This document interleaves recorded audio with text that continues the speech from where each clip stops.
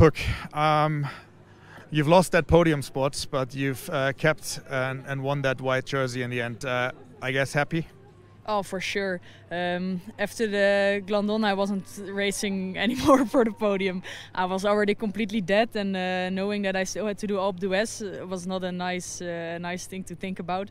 Uh, I just left it all out there today, and yeah, I'm so happy to be finishing it off with a white jersey, and that Pauliena could get on the podium. That was really like I heard everything in the in the radio, and how she rode today. It was incredible how was that uh, following uh, Pauliena and racing at the same time? Um, I mean, that's not so easy, I guess.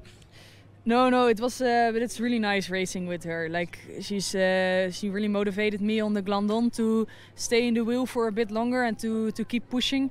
And uh, yeah, just to see how strong she is in those kind of conditions, it's it's crazy. And I hope I can push those bots uh, in the future as well.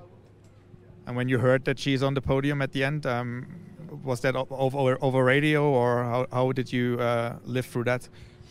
Yeah, I heard it on the on the radio and then I knew that I still had a really long way to go. so I knew they were really really quick today. Um, and then yeah, I also knew that I still had to suffer a lot. Uh, I really had to keep uh, pushing till the finish uh, to keep my jersey You mentioned um, in one of your previous press conferences that the Tour de France Femmes fit in quite well for you this year with your mountain bike schedule. Um, when you came into this race, did you expect to win something like the white jersey or get a stage win, or is this just beyond what you expected? Well, I went in with the like I knew that for the white it could be possible, uh, and that probably uh, Shirin would be the, the biggest competitor together with uh, with Fem.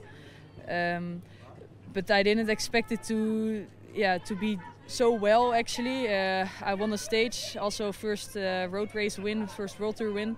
That was something I, I, didn't expect at all. I tried to go in with the least amount of expectations and just to learn a lot. And I think I really learned a lot and uh, yeah, also learned to push my limits.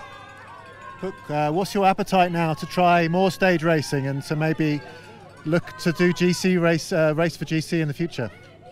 Yeah, I think uh, this week showed that there's really something possible maybe in the future when I'm a bit older. Uh, so yeah, I look forward to that. Uh, I don't know how things will plan out, but uh, yeah, we'll just see and uh, I'll just let it uh, be how it is. maybe I stay on the mountain bike for a few more years. Maybe I come back next year already for the tour. I I don't know. Is there a part of you that's thinking yellow jersey in the future? For sure, you need to dream big. Thank you very much. Enjoy that one.